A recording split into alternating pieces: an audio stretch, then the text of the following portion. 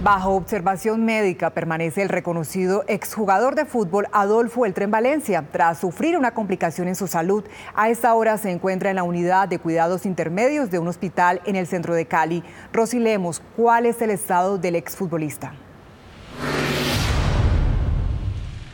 Daniela, buenas tardes. Pues según el reporte médico más reciente, el exfutbolista en esos momentos se encuentra estable, pero todavía permanece hospitalizado en la unidad de cuidados intermedios de este, el Hospital San Juan de Dios. Y es que según los médicos, las cifras de glicemia que posee el exjugador son bastante elevadas.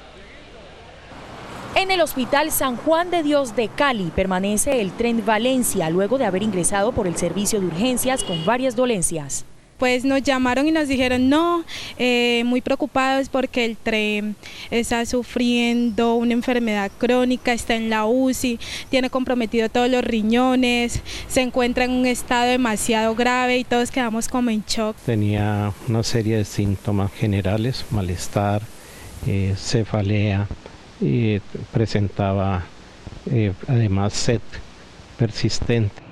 Tras varios exámenes, los médicos determinaron la enfermedad del exjugador.